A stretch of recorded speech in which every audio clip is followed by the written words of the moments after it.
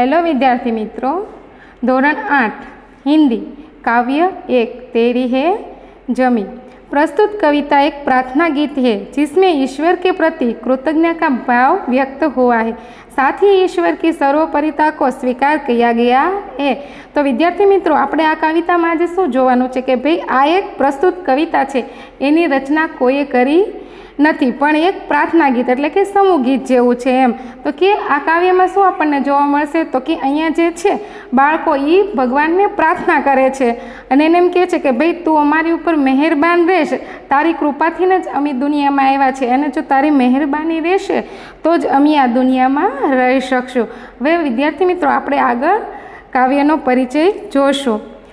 तेरी है जमी तेरा है आसमान તું બડા મહેરબાન તું બક્ષિશ કર તો કે પ્રાર્થનામાં કહેવામાં આવ્યું છે કે હે ભગવાન તા જમીન છે એ પણ તારી જ છે અને આકાશ છે એ પણ તારું જ છે તું બડા મહેરબાન તું બક્ષિશ કર એમ તો કે ભાઈ તું બધા ઉપર રહેમ કર અને તું બધા ઉપર કૃપા કર અને બધાને ક્ષમા કર સભી કા તું સભી તેરે, ખુદા મેરે, તું બક્ષિશ કર. તો કે અહીંયા એમ કહેવામાં આવ્યું છે કે ભાઈ તું ભગવાન છો, તું બધા માટે છો એમ. અત્યારે આખી સૃષ્ટિ છે, એનું સર્જન કોણે કર્યું છે? તો કે ઈશ્વર જ તે. અને ઈશ્વર છે એ આપણા બધા માટે છે, આપણા એકલા માટે નથી એમ. એટલે કે તું બધાનો છે અને અમે પણ બધા તારા જ છીએ એમ. તું અમારી ઉપર રહેમ કર અને બક્ષિશ કર. તેરી મરજી સે હે માલિક હમ ઇસ દુનિયા મેં આયે તો કે અહીંયા એમ કહેવામાં આવ્યું છે કે ભાઈ તારી મરજી હતી અને તારી ઈચ્છા હતી એના લીધે જ અમે આ દુનિયામાં આવ્યા છીએ તેરી રહેમત સે હમ સબને એ જિસ્મોએ જે જા પાયે હે તું અપની નજર હમ પર રખના કિસ હાલ મેં હે એ ખબર રખના? તો કે અહીંયા પ્રાર્થના ગીતમાં એમ કહેવામાં આવ્યું છે કે ભાઈ, તારી રહેમત, એટલે કે તારી મહેરબાની હતી, તારા લીધે જ અમે આ દુનિયામાં આવ્યા છીએ કે ભાઈ, અમારો જે જન્મ છે તે આ દુનિયામાં થયો છે અને તારા લીધે જ અમને આ જીસ્મ અને જાન, એટલે કે આ શરીર અને આ પ્રાણ મળ્યા છે. તું અપની નજર હમ પર રખના કિસ હાલ મેં હે એ ખબર રખના એટલે કે અહીંયા કહેવામાં આવ્યું છે કે ભાઈ, તું અમારી ઉપર, ભલે તું ઈશ્વર, તું અમને દેખાતો નથી, છતાં પણ તું અમારા બધા ઉપર તારી નજર રાખજે અને અમે કયા હાલતમાં છીએ, એની તું ખબર રાખજે. તેરી હે જમી તેરા આસમાન. તું ચાહે તો અમે રખીએ, તું ચાહે તો હમે મારે.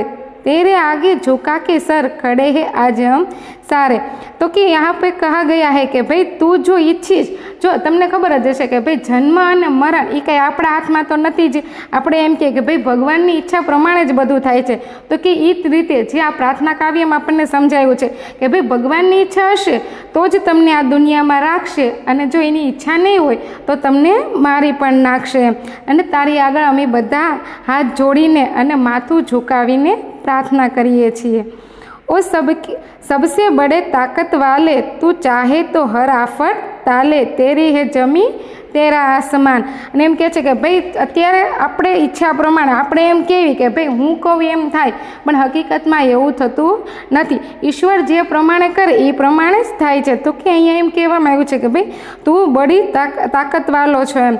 તું ઈચ્છે એ કરી શકે અને જે તું ઈચ્છે એ આફત પણ ટાળી શકે. તેરી હે જમી, તેરા આસમાન. તો કે વિદ્યાર્થી મિત્રો, આ કાવ્ય આપણે અહીંયા પૂર્ણ થશે. અને હવે આપણે એના શબ્દાર્થ જોશું. तो के बख्शिश उसका अर्थ क्या होता है तो के भेंट उपवा उपहार अथवा तो क्षमा करना मालिक स्वामी अने ईश्वर रहमत कृपा आफत मुश्किल अने संकट मेहरबा कृपालु अने दयालु जिस्म शरीर जा તો કે પ્રાણ, જે આ શબ્દાર્થ છે, વિદ્યાર્થી મિત્રો એ આપણે સમાનાર્થી શબ્દમાં પણ પૂછાઈ શકે છે. અને શબ્દાર્થ પછી આપણે જોશું ભાષા સજ્જતા. ભાષા સજ્જતામાં શું છે? તો કે વચન પરિવર્તન. વચન પરિવર્તન એટલે તો કે એક વચન હોય, એનું બહુ વચન કરવાનું, બહુ વચન હોય, એનું એક વચન કરવાનું. આપણે અહીંયા થોડાક શબ્દો લખ્યા છે, તે જોશું. તો કે અહીંયા એક વચન શું છે? તો કે તાલા. તો કે એનું બહુ વચન શું થયું? તો કે તાલે. લડકા તો કે લડકે, ઘોડા તો કે ઘોડે, બેટા, બેટી, બેટે, કમરા, કમરે, છાતા, છાતે.